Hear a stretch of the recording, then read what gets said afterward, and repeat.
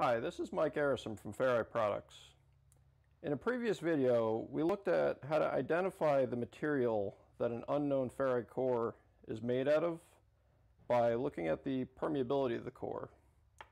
Now we did that on toroidal closed magnetic structure type ferrites, um, such as this toroid or the shield bead. But not all ferrite cores are toroidal closed magnetic structure. So in this video, we're going to be taking a look at how to identify the material of a rod type ferrite core with an open magnetic structure. Initial permeability of the material is not going to be as straightforward as in the previous video. Uh, to start off with, let's take a look at what we mean by open magnetic structure. So here's a little simulation of one of our ferrite rods here. And if we take a look, this is the ferrite core here in the center, and these two rectangles on either side represent the winding of the core. The lines through here are representative of the path that the flux is traveling uh, in the core. So we're calling this an open magnetic structure because the flux is by majority going through open air as opposed through as opposed to in a toroidal type structure going through the core material. So when we're talking about a closed magnetic structure, any of the characteristics that we're measuring are influenced by the core material. Uh, the since the core only represents a small portion of the path the flux is traveling through in a rod type structure, the influence of the core material is greatly re reduced. So what we're going to be looking at when measuring, this is a 61 material core by the way, and we also have 77 material cores here. So what we're going to be looking at is called rod permeability. So this is going to be a greatly derated number from the material's original initial permeability numbers.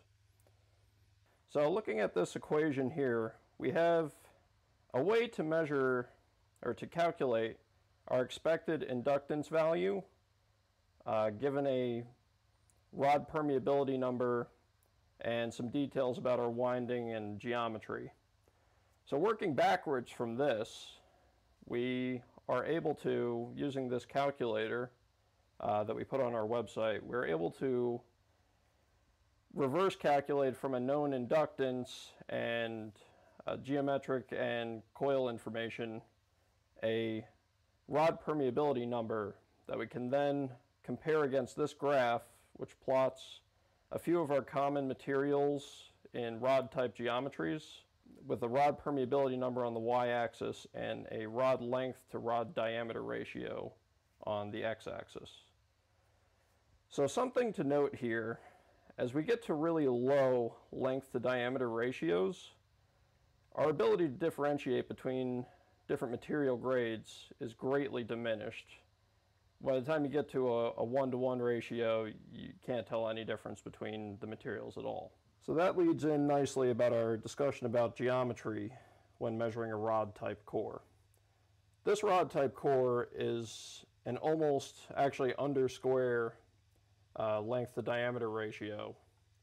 And we're not going to really easily be able to differentiate between these two materials with this type to length to diameter ratio.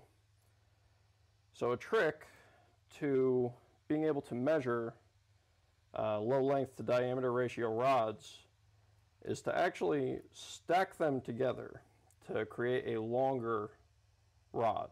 So we could see in this simulation, we have 10 cores, 10 ferrite rod cores stacked end to end inside of one winding. So these smaller squares in the center again are our ferrite cores. These wide rectangles on either side are going to be our winding. Now you are introducing air gaps by just stacking cores end to end, but relative to the amount of air that the flux is traveling through normally, these are fairly insignificant. As you can see, the majority of the flux remains contained within the coils, So that's not going to be too much of an issue as far as our measurement goes. So going back to our calculator, we have a couple things that we need to measure. We have our rod diameter here in millimeters, our rod length in millimeters, number of turns of our coil, the length our test coil is in the same direction of the length of the rod, and our series measured series inductance in microhenries. So as the geometry of the rod is important, so is the coil length. So for this calculator to work optimally, it assumes for a single layer winding around the OD of the rod, and for best results, the length of the coil should cover as much of the rod core as is possible. That's the inductance modifier value here in the equation. You know, closer to that ratio of coil length to rod length is to one, the more differentiation you'll be able to make between different material grades. So let's start off with our 61 material cores. And these are these cores are nearly the same size as one another, 61 and 77. Uh, we made them that way for comparison's sake in this video.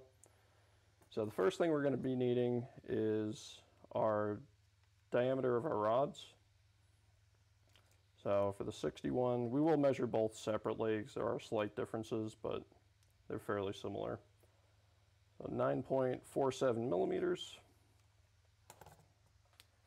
We'll enter that in.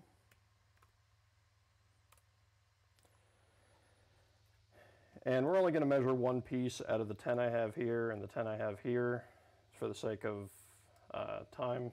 They're pretty similar to one another. So 8.15 millimeters for length.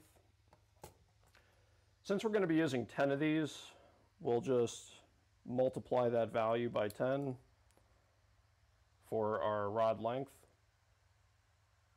So we'll put 81.5 millimeters in here. Uh, number of turns. So this is a pre-made test coil. Uh, I made it out of a piece of shrink tubing and some 24 gauge uh, enamel magnet wire. So I, I, know that this is 135 turns. Um, again, that's to get pretty well good coverage of the cores. So we can stack all of our cores in here. So 135. And we're going to need our coil length. Um, just approximately.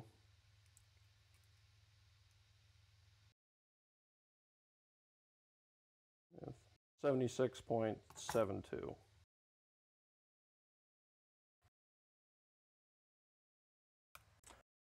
So lastly, we're going to need our series inductance microhenries.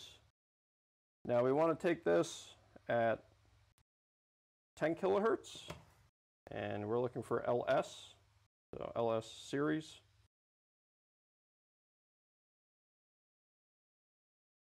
So we'll just plug our test coil in here.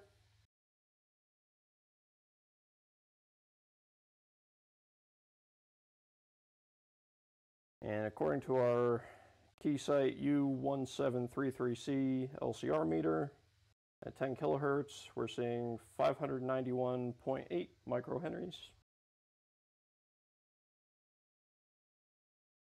So we enter that in, click enter, and we get our rod permeability value here, 26.89. So we can compare that on our chart. Our length to diameter ratio is 8.6. So we'll follow that up here.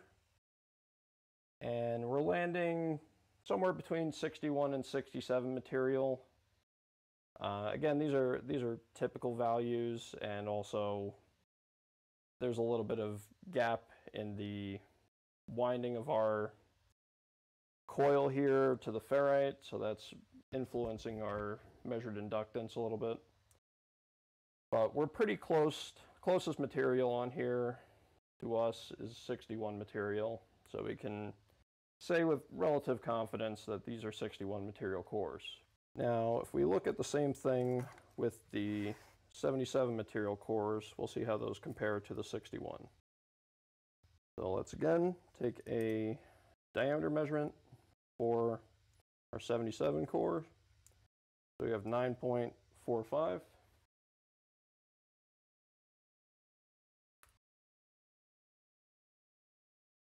And our length measurement, we have 8.14. So again, times 10, 81.4. Number of turns, since we're going to be using the same test coil, is still 135. Coil length hasn't changed. Our inductance hopefully will though. Okay, so right off the bat, we can see this is definitely a higher permeability material. Our inductance is up to 752 microhenries. And if we enter that into our calculator and click enter, we can see our rod permeability jumped all the way up to 34.32. So if we again follow that over on this chart, uh, we could see we're in the mid 30 range. Um, could go either way for 33 material or 77 and 78 material.